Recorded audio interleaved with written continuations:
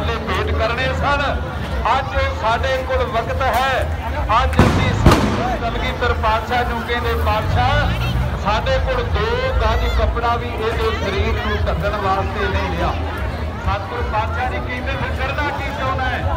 ਸਤਿਗੁਰੂ ਪਾਤਸ਼ਾਹ ਮਹਾਰਾਜ ਨੂੰ ਬੇਨਤੀ ਕਰਦਾ ਕਹਿੰਦਾ ਪਾਤਸ਼ਾਹ, ਮੇਰੇ ਕੋਲ ਹੋਰ ਤੇ ਕੱਪੜਾ ਕੋਈ ਨਹੀਂ, ਬਸ ਨਹੀਂ ਚੱਲਦਾ। ਆ ਜਿਹੜਾ ਮੈਂ ਸਫਾ ਜੰਗ ਕਮਰ ਕੱਸਾ ਕੀਤਾ, ਲੱਕ ਦੁਆਲੇ, ਇਹ ਦੋ ਗਜ ਕੱਪੜਾ ਹੈ। ਇਹ ਮੈਂ ਚਾਹੁੰਦਾ ਵੀ ਖੋਲ ਕੇ ਇਹ ਸਰੀਰ ਨੂੰ ਢੱਕ ਦਿਆਂ। ਹੋਰ ਅਸੀਂ ਕੁਝ ਨਹੀਂ ਕਰ ਸਕਦੇ। ਕਲਗੀਧਰ ਪਾਤਸ਼ਾਹ ਮਹਾਰਾਜ ਜੀ ਨੇ ਉਸ ਵੇਲੇ ਬਾਹਾਂ ਤੋਂ ਫੜਿਆ ਉਠਾਇਆ ਭਾਈ ਦਇਆ ਸਿੰਘ ਨੂੰ ਗਲ ਦੇ ਨਾਲ ਲਾਇਆ। ਓ ਮੰਨੀ ਓਏ ਕੀ ਕਰਦਾ ਹੈਗਾ? ਓ ਬਾਬਾ ਬਸ ਉਹ ਨਹੀਂ ਮੈਂ ਕੋਈ ਲੈ ਲੰਗਰ ਖਾ ਕੇ ਲੈ ਉਧਰ ਦੇ ਸਕੋ ਲੈ ਬਈ ਲੈ ਲਓ। ਲੰਬਾ ਲਿਆ ਉਹਦਾ। ਦੇ